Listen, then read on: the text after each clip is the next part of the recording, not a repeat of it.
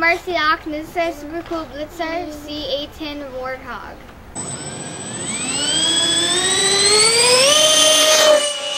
It's a twin 64mm electric fan jet. We added two Grayson Hobby microjets to it as well.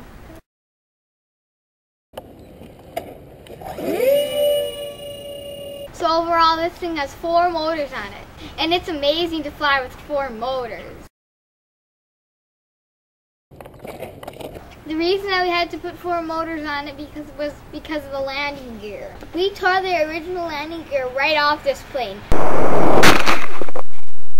After we tore up the stock landing gear, we built some of our own. It's made of aluminum, and this landing gear is just fixed landing gear. It didn't fold up or back. So when we came off to hit the lip of our landing strip at our hill, it would just like rip off.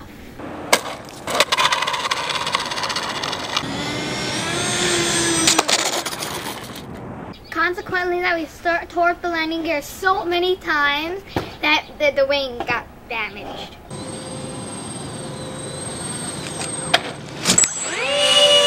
So every time we tore off the landing gear and the wing, we have to hot glue it back together. So if we crash this plane any more times, it's going to be a blob of hot glue.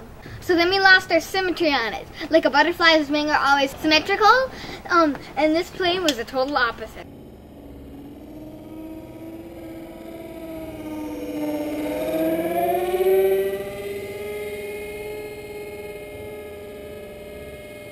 We added extra ailer aileron surface too.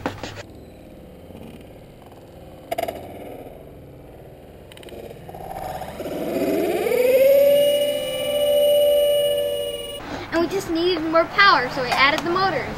Today we took out for a spin, and we actually lost the wheel. Probably like cracked in half. It's funny how we lost it, but the landing gear broke as well. You see, it went in here. As you can see the difference on our FA-18, we built retractable landing gear. So when it hits the ground, it can just roll back. And this is handmade by my dad and me.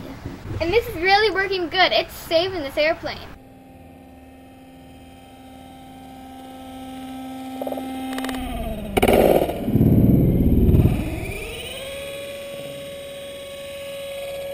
So we're thinking of doing the same thing with our A10 Warthog.